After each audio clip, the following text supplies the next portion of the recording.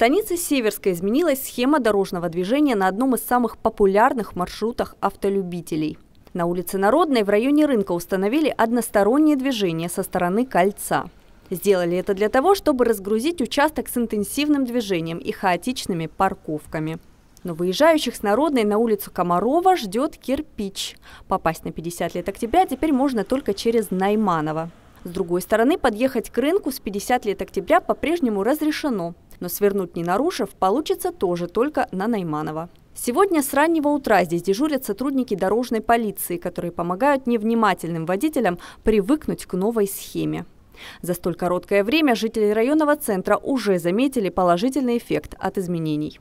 Машин было просто куча. Было большое столпотворение, было невозможно ходить. Но сейчас все гораздо поменялось. Направление в ту сторону, пробок нет. Давно надо было сделать, конечно. Вот хорошо. Сейчас будет лучше. Я считаю лучше, гораздо лучше. И водителям удобней. Не будет вот этих вот заторов машин, стоящих на проезде. Будет лучше. Кроме того, на Народной появились новые знаки – пешеходный переход и соответствующая разметка.